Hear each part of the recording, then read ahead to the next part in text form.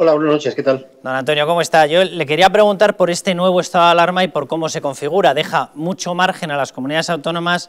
Yo no sé si esto aporta, si no aporta las medidas que ya tenía lanzadas la Comunidad de Madrid, si esto puede servir, no va a servir, don Antonio.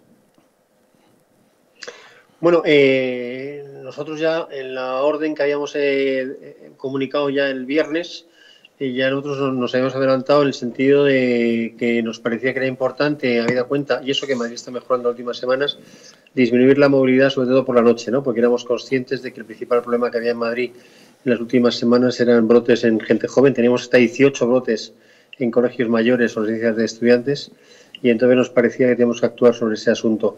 Eh, no lo sé, también es verdad que en el contexto de la lucha contra la pandemia, cuando a veces planteamos medidas sanitarias, luego tenemos que pasar el filtro a los jueces. Y eso es cierto que en algunos casos ha generado algún problema que otro. ¿no? Mm, bien, no lo sé. Eh, acaban de publicar el, Real Decreto en el BOE. No os ha dado tiempo a verlo y estamos analizando con los estudios jurídicos realmente a ver si nos aporta qué, tipo de ventaja nos puede aportar para gestionar la pandemia, que realmente es lo que nos preocupa o, me preocupa a mí, ¿no? como responsable del plan COVID en Madrid. Don Antonio, ¿cómo es la evolución de la enfermedad en Madrid? Yo creo que sí que hemos visto una caída clarísima. Yo le escuché a usted una, entrevista en el radio hace, pues puede ser un mes, mes y algo. Usted ya pronosticó, de hecho, y lo dijo, estamos entrando en una meseta y caída. Y efectivamente, se cumplió la meseta y se cumplió esa caída. Eh, ¿Estamos en una situación de mejora clara de la enfermedad? Sí, bueno, Madrid ha mejorado.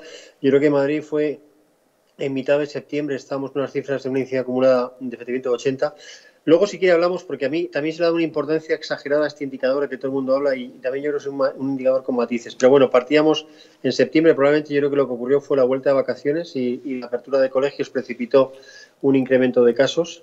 Y a partir de ahí, con la medida que tomó Madrid, que actuamos sobre 45 zonas básicas, recuerde usted que estaban por encima de una incidencia acumulada de 1.000.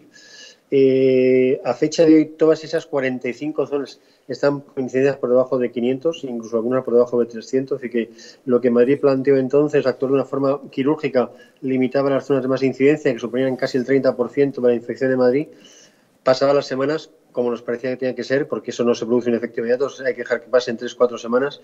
A fecha de hoy, decir que la incidencia acumulada en, el municipio de Madrid, en la capital, está en torno a 370 y en la Comunidad de Madrid está en torno a 405, 410. Es decir, que Madrid ha mejorado notablemente en estos seis meses con, esa forma de trabajar, con esa forma de gestionar la epidemia que nos parecía que podía ser efectiva, que era actuando en las zonas de más concentración de casos y limitando la, movilidad únicamente en esas zonas, ¿no? para que el resto de la comunidad pudiera hacer una vida dentro de lo más normal posible, en la circunstancia en la que estamos. Déjeme que le haga una última pregunta, porque esa evolución efectivamente parte de las medidas que ustedes estaban lanzando, es decir, se comenzó a controlar la curva de la evolución antes de que empezase el famoso rifirrafe, bueno, el famoso rifirrafe con mayúsculas, porque llevamos con rifirrafe entre la Comunidad de Madrid, el Gobierno de Madrid y el Gobierno central desde el inicio de los tiempos. Pero realmente el éxito de esas medidas fueron las suyas. Posteriormente vino la famosa reunión en Sol entre Pedro Sánchez y Isabel Díaz Ayuso. Yo por la última conversación que he mantenido con la Comunidad de Madrid, de hecho ni tan siquiera el incremento de presencia policial que se, que se prometió por parte de agentes de la Policía Nacional, ni siquiera eso se habría cumplido, eh, y sin embargo no hacen más que eh, plantearles determinadas críticas.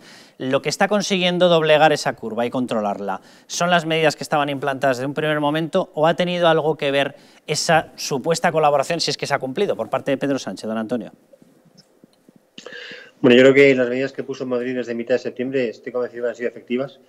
Y en relación con el, este periodo de alarma que terminó el, sábado por la tarde, a nosotros nos ha preocupado, por ejemplo, en Madrid, que tenemos constatado que la movilidad dentro de la unidad territorial del municipio de Madrid había aumentado un 15%.